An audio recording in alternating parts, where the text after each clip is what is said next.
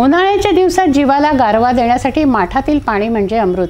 तसं तर फ्रीजमधील पाण्याने देखील तहान भागवू शकतो मात्र प्रत्येकाच्या आवाक्यात फ्रीजची खरेदी नसते शिवाय फ्रीजपेक्षा माठातील पाणी आरोग्यासाठी देखील योग्य मानलं जातं.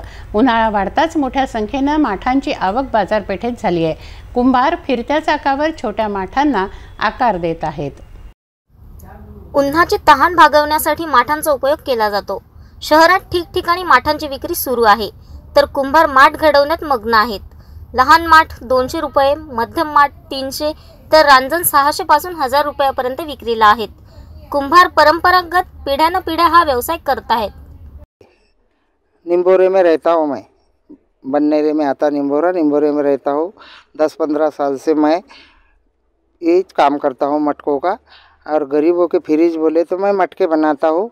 और गरीब के लिए मेरा मटका ठंडे पानी के लिए गरीब फ्रिज नहीं खरीद सकता।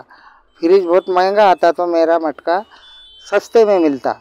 और मैं गरीब हूँ, बहुत मेहनत करता हूँ, मेरे भी पेट के लिए मैं कुछ करता हूँ। तो ठंडे पानी के मटके मैं बनाता और मेरा परंपरा का धंधा है, आजा पड़दादा मैं ज़िंदा हूँ जब तक। ये मटके गरीबों के फ्रिज मैं तैयार करते रहूँगा।